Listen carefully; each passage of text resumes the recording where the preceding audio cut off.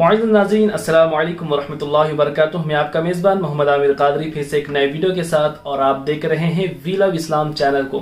और मेरी पूरी उम्मीद है कि आप सभी लोग खैरियत से होंगे। नाजरीन, रमज़ान मुबारक का मुबारक महीना चल रहा है। अल्लाह तबारक ताली हम सबको रमज़ान करीम की बरकतें और रहमतें अता फरमाएँ। तो नाजरीन, आपने हज़रत सैयद अली मीरा दातर रहमतुल्लाहि ताली का हिस्ट्री वीडियो ज़रूर देखा होगा, जिसमें मैंने आपकी बहुत सारी इंटरेस्टिंग करामतें और हिस्ट्री बयान की हैं।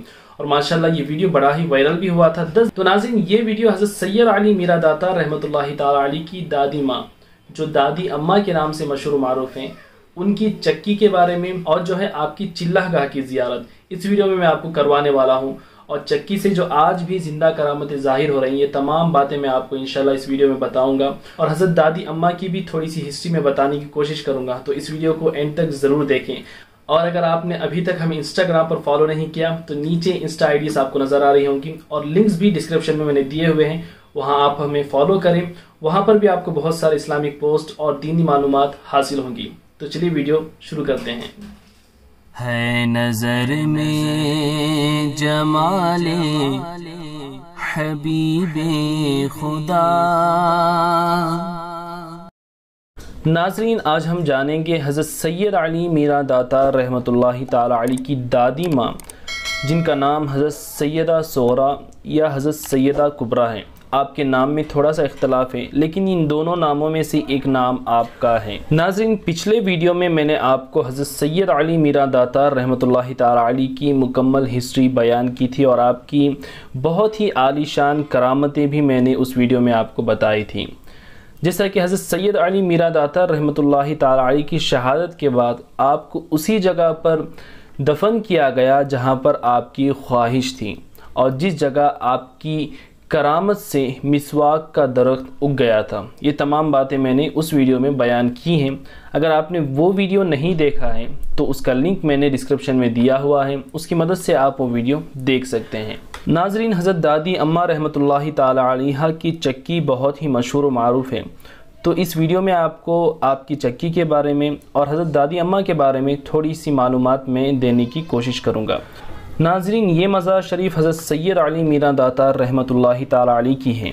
और आपकी मज़ार शरीफ से हज़रत दादी अम्मा की चिल्ले और आपकी चक्की को किस तरीके से जाते हैं, ये तमाम रास्ता इस वीडियो में बताया गया है। आप इसको फॉलो करते रहें और साथ ही साथ हज़रत दादी अम्मा की हिस्ट्री सुनते रहें।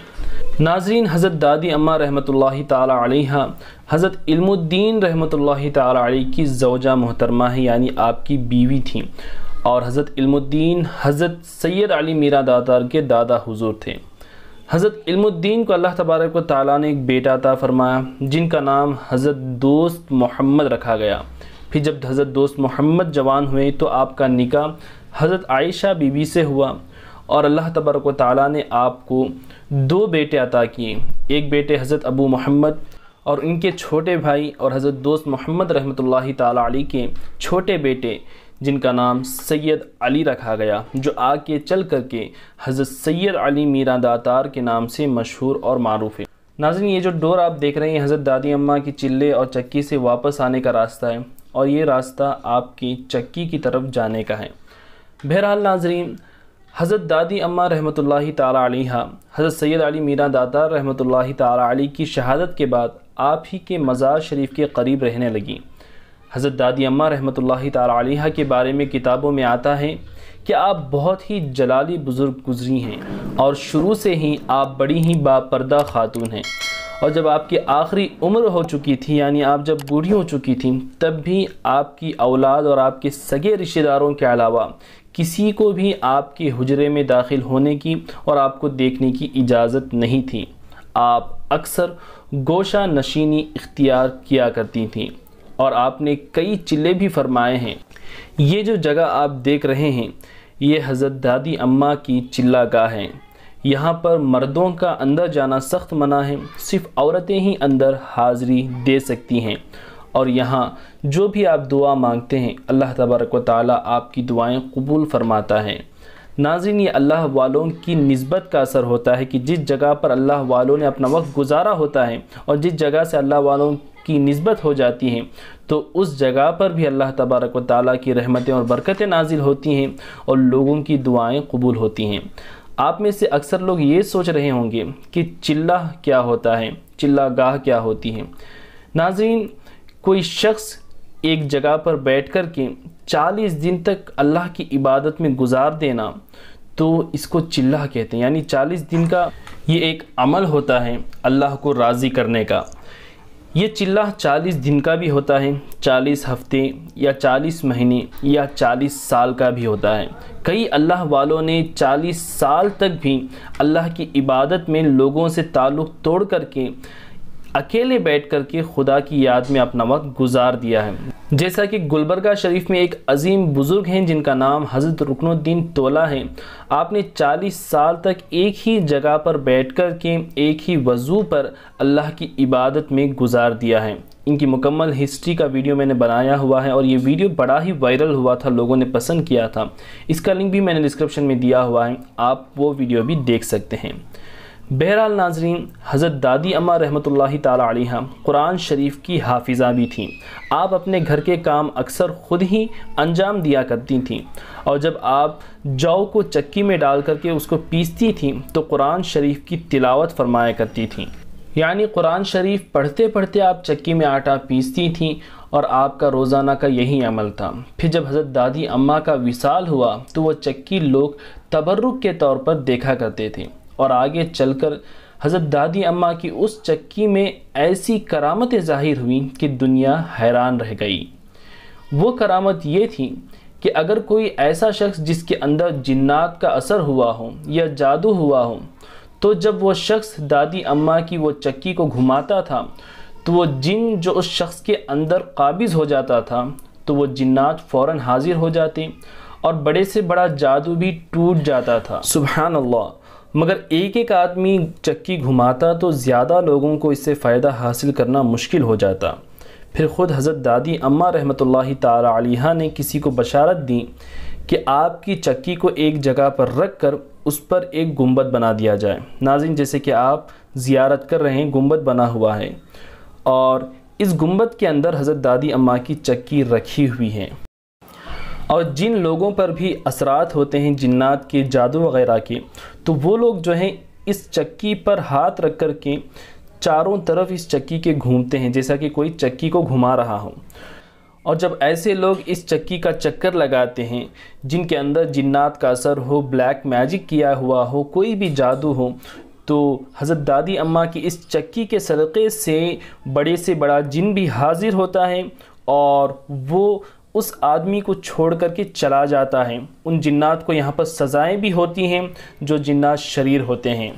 और हज़रत दादी अम्मा रहमतुल्लाहि ताला की बशारत के बाद इस चक्की पर गुंबद बना दिया गया। और सैकड़ों सालों से हज़ारों लोगों को यहाँ से फैज़ान मिला है, यहाँ से शिफा मिली है। और लोग जिनकी ज़िंदियाँ बर्बाद हो चुकी थीं हज़रत सैयद अली मीरा दातार के सदक़े से और इस चक्की के फैज़ान से उन लोगों की ज़िंदियाँ संवर चुकी हैं और लोग अपनी नॉर्मल ज़िंदगी में लौट गए हैं। नाजरीन, अगर आपको भी ऐसी कोई परेशानियाँ हैं तो आप इस दरबार में हाज़िरी दे सकते हैं और यहाँ के खादिम हज़ार से भी आप कांटेक्ट कर सकते हैं। कॉन्टैक्ट नंबर आपको स्क्रीन पर नज़र आ रहा होगा और डिस्क्रिप्शन में भी मैंने उनका फ़ोन नंबर दिया हुआ है। आप उनको फ़ोन कर सकते हैं। आपको इससे बड़ी मदद हो जाएगी दरगाह शरीफ जाने में और कोई भी इलाज करवाने में। नाजिन एक और ज़रूरी पॉइंट मैं आपको बताना चाहता हूँ। आप इसे गौर से सुने और इस पॉइंट को याद रखने की कोशिश करें। अक्सर लोगों के जहन में ये सवाल पैदा हो सकता है कि एक चक्की से लोगों को इतने फ़ायदे कैसे हासिल हो सकते हैं? वो भी कोई आम फ़ायदे नहीं, बल्कि जिन्नात दूर हो जाते हैं, जादू टूट जाते हैं और बीमारियों से शिफाएँ मिल जाती हैं। और यहाँ पर आकर के लोग जब दुआ करते हैं चक्की के पास, लोगों की दुआएँ कबूल हो जाती हैं। नाजिन जिस चीज़ से अल्लाह वालों का ताल्लुक़ हो जाता है, नस्बत हो जाती है तो उन चीज़ों में अल्लाह तबारक ताली की रहमतें और बरकतें नाजिल होती हैं और उन चीज़ों से लोगों को फ़ायदे भी पहुँचते हैं। और ये बातें मैं आपको सिर्फ़ अपनी तरफ़ से नहीं बता रहा हूँ, बल्कि आपको कुरान शरीफ से भी हवाला दूँगा। कुरान शरीफ दूसरा पारा सूरतुल्बकरा की आयत नंबर दो सौ अड़तालीस अगर आप पढ़ेंगे तो इसमें अल्लाह तबारक व ताली ने एक ताबूत का ज़िक्र फरमाया है। ये ताबूत जो है हज़रत आदम सलाम पर नाजिल हुआ था। और ये शमशाद की लकड़ी का बना हुआ था। ये ताबूत की खसूसियात ये थी कि बनी इसराइल में जब कोई इख्तलाफ पैदा होता था तो लोग इसी संदूक से फ़ैसला कराते थे। संदूक से फ़ैसले की आवाज़ आती और फतह की बशारत सुनी जाती थी। बनी इसराइल इस संदूक को अपने आगे रखकर और इसको वसीला बनाकर दुआ मांगते थे तो उनकी दुआएँ कबूल होती थीं। और बलाओं की मुसीबतें और वबाओं की आफतें टल जाया करती थीं। अलगर्ज़ ये संदूक बनी इसराइल के लिए ताबूत सकीना, बरकत व रहमत का ख़जीना और नुसरत खुदावंदी के नज़ुल का नहायत मुक़दस और बेहतरीन ज़रिया था। अच्छा सवाल ये पैदा होता है कि इस ताबूत सकीना में ऐसी ऐसी करामतें कैसे पैदा हुई? इस ताबूत के अंदर ऐसा क्या था? तो इस मुक़दस संदूक में हज़रत मूसा का असा और उनकी मुक़दस जूतियाँ और हज़रत हारून आसमाम का अमामा शरीफ और हज़रत सुलेमान आसमाम की उंगोटी तौरात की तख्तियों के चंद टुकड़े कुछ मनोसलवा, इसके अलावा हज़रत अम्बिया की सूरतों के हीले वगैरह सब सामान इस संदूक में मौजूद थे। और इन तबरुकात के सदक़े से और इन तबरुकात की वजह से अल्लाह तबारक ताली ने इस ताबूत सकीना में ऐसे ऐसे करामतें, ऐसी ऐसी बरकतें रख दी थीं कि लोगों के परेशानियाँ, तकलीफ़ें दूर हो जाती और इसके सदक़े से लोगों की दुआएँ कबूल होती थीं। और यही सब चीज़ें हज़रत दादी अम्मा की चक्की में भी हमें नज़र आती हैं, क्योंकि इस चक्की का ताल्लुक़ हज़रत दादी अम्मा से था। आप इसको रोज़ाना इस्तेमाल करती थीं और जब भी आप इस चक्की को पीसती थीं तो कुरान शरीफ की तिलावत भी फरमाया करती थीं। नाजरीन, ताबूत सकीना के बारे में भी हमने फुल वीडियो बनाई हुई है। उसमें ताबूत सकीना के बारे में फुल इन्फॉर्मेशन हमने दी है। आप वो वीडियो भी ज़रूर देखें, आपको बड़ा ही फ़ायदा हासिल होगा और इल्म भी हासिल होगा। नाजरीन, हज़रत सैद अली मीरा दाता रहमत ताली की शहादत के चंद सालों बाद ही हज़रत दादी अम्मा का भी विसाल हो गया। आपके विसाल की तारीख़ सत्रह रजब बताई जाती है और सत्रह रजब ही के दिन दादी अम्मा का उर्स भी बड़े ही शान व शौकत के साथ मनाया जाता है। हज़रत दादी अम्मा की मज़ार शरीफ मुल्क इंडिया की रियासत गुजरात और गुजरात के शहर अहमदाबाद और अहमदाबाद का एक इलाका उस्मानपुरा में आपकी मज़ार शरीफ मौजूद हैं। और आपकी चिल्लागाह और चक्की शरीफ यहीं उनावा शरीफ यानी हज़रत सैद अली मीरा दातार की दरगाह शरीफ के अहाते ही में मौजूद है। नाजरीन, ये वीडियो आपको कैसा लगा ज़रूर हमें कमेंट बॉक्स में बताएँ। और वीडियो अगर पसंद आया है तो लाइक ज़रूर करें और इस वीडियो को सवाब की नीयत से ज़्यादा से ज़्यादा शेयर करें। और जब भी आपको मौका मिले तो उनावा शरीफ इस दरगाह शरीफ में हाज़िरी देने की पूरी कोशिश करें। हज़रत दादी अम्मा की चिल्लेगाह की भी ज़ियारत करें और आपकी चक्की शरीफ की भी आप ज़रूर ज़ियारत करें। अल्लाह तबारक व ताली से दुआ है कि मौलाए करीम, हज़रत सैद अली मीरा दातार और हज़रत दादी अम्मा के सदक़े से हम सब की मन्नतों और मुरादों को पूरा फरमाएँ। तो नेक्स्ट वीडियो में मिलते हैं। असलकम वरहमल रहमतुल्लाहि व बरकातुहू।